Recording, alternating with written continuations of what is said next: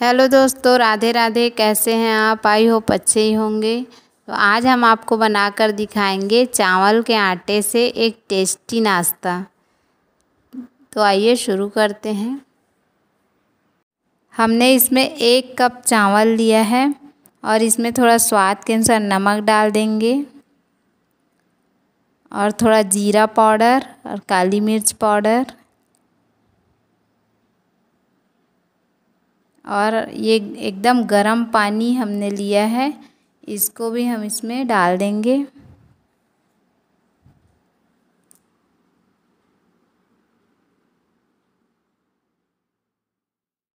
ये पानी बहुत गर्म है तो हम इसको किसी चम्मच की सहायता से मिला लेंगे।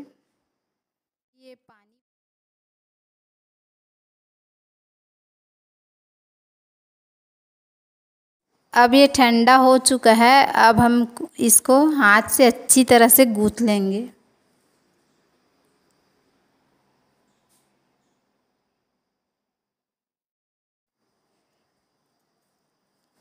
अब हम इसको कुछ देर के लिए सेट होने के लिए रख देंगे। अब हमने तेल गरम करने के लिए रख दिया है। तो तेल गरम हो चुका है। हमने इसमें हरी मिर्च भी डाल दिया है। अब हम इसमें जो लहसुन और प्याज का पेस्ट बना के रखा था, उसको भी डाल देंगे। इसको अच्छी तरह से भून लेंगे।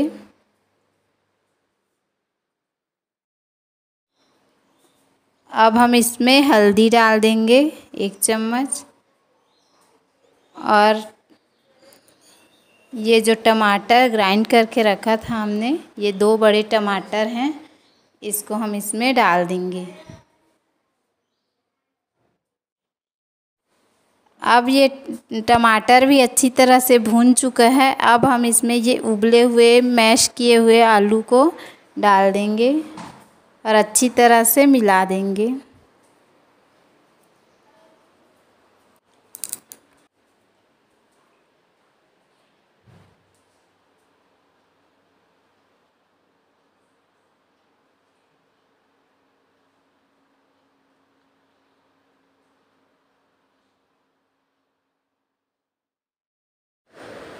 अब हम इसमें नमक डालकर मिला लेंगे।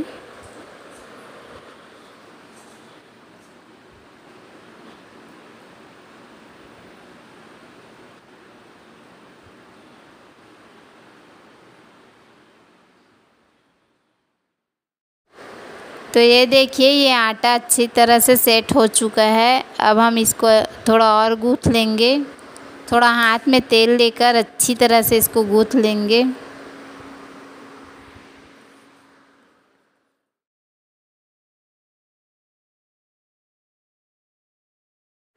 अब हम एक बर्तन में पानी गर्म करने के लिए रख देंगे और इसके ऊपर एक जालीदार बर्तन रख देंगे।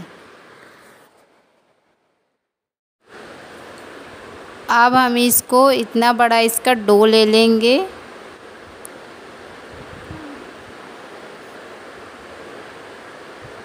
अब इसको हम बेल लेंगे।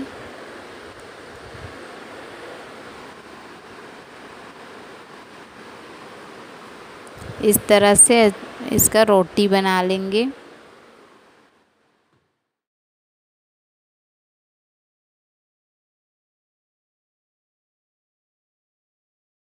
तो ये देखिए, हमने रोटी को अच्छी तरह से बेल लिया है। अब हम इसके ऊपर जो आलू का मसाला बनाए थे, उसको डाल देंगे और इसको इस तरह से फैला लेंगे।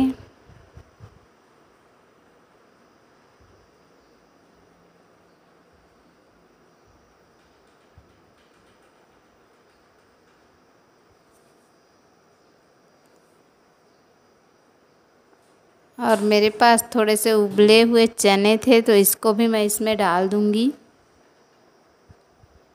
इससे इसका टेस्ट और भी बढ़ जाएगा।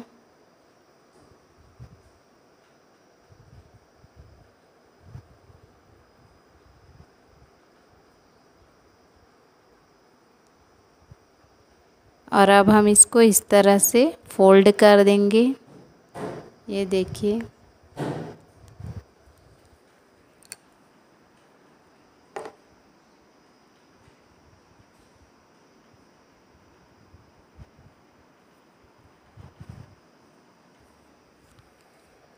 और अब ऊपर से इसको थोड़ा सा प्रेस कर देंगे।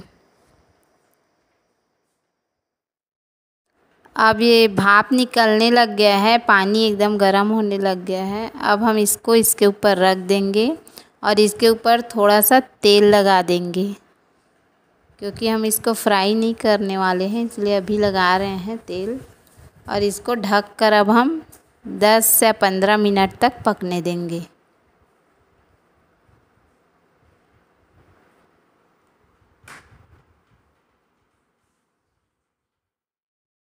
तो इसको पकते हुए पंद्रह मिनट हो चुके हैं। अब देख लेते हैं इसको। ये देखिए, अच्छी तरह से पक गया है। और अब अब हम गैस का फ्लेम बंद कर देंगे। अब हम इसको चाकू से इस तरह से काट लेंगे।